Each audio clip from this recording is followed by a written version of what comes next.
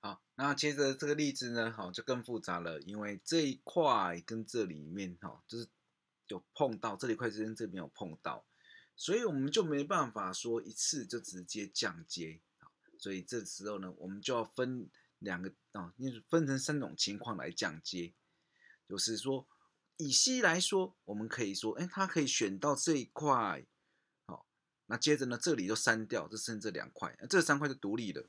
或者选到这一块，然后把这里删掉，这样独立。然后另外一个就是说，那这两块都不选的情况，就变成这三块也是独立的情况，就可以拆成这三个情况来做。那这个的城堡多项式是什么呢？对，这是 x 哈，因为这红色是必选，所以这里不是一加 x 哦，因为它必选，所以就是 x。那这里是一加二 s，这里是一加六 s 加六 s 平。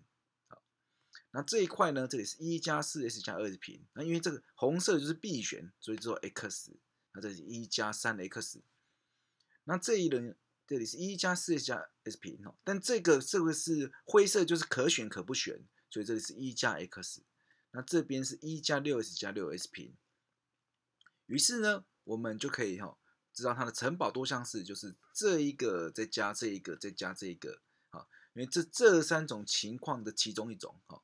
所以这就是加法原理的加法原理，就是通过加的把它加加起来。那这样子系数整理之后，我们就得到这个关系。所以真正的答案就变成什么呢？啊，就是六阶减掉是三个五阶，加上五十七个四阶减掉一百个三阶，加上六十六个二阶减掉十二个一阶，好，最后就等于四十八。所以这是啊复杂的情况的这个处理。其实城堡多项式就是一定要记住，它就是什么？加法原理跟乘法原理在混用而已，然后刚好就利用多项式的系数来表示这样的关系，对，好，就是说，就表面上它是没有用到，其实跟多项式没什么关，没什么直接关联的，只是他们运算上有一个这个巧合，所以当导致我们可以这样来使用它。